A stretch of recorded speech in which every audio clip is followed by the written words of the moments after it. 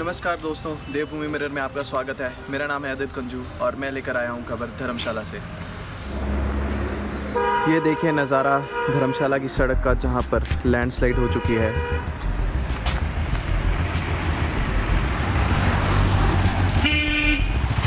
और ऊपर से चट्टाने गिर कर आ रही हैं, जो कि काफ़ी ख़तरा है गाड़ियों को और चलते हुए लोगों को।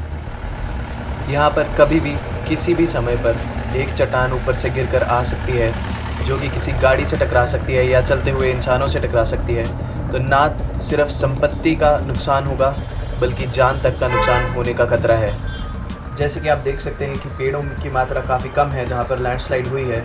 तो इसलिए आप सभी लोगों से मेरी गुजारिश है कि पेड़ पौधे ना काटें। ना सिर्फ़ लोकल लोगों को, पर बाहर के लोगों को भी बहुत मुश्किल हो रही है यहाँ पर ड्राइव करने में। कभी भी कोई भी चट्टान ऊपर से गिर कर आ सकती है। इसीलिए गवर्नमेंट से ये हमारा अनुरोध है कि इसे जल्दी से जल्दी ठीक करवाएँ, यहाँ कुछ वृक्ष लगवाएँ। और दिन के उजाले में यहाँ ड्राइव करना काफ़ी मुश्किल है और रात के अंधेरे में ये और भी जानलेवा हो सकता है।